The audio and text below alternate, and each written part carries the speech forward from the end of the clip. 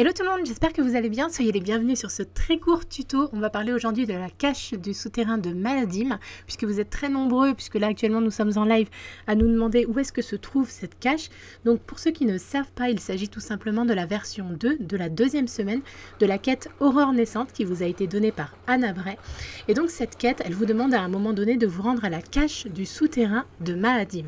Alors tout simplement cette cache elle se trouve sur Mars en mode patrouille et il vous suffit de vous rendre dans le secteur perdu de la zone du drift.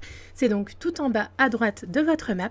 Vous verrez c'est très très simple, il vous suffit tout simplement d'avancer un petit peu plus en profondeur dans le secteur perdu et à un moment donné sur votre droite vous aurez un module à examiner de la même manière que les autres modules des quêtes des 40 modules à examiner sur la planète et vous aurez tout simplement trouvé la cache du souterrain de Maadim.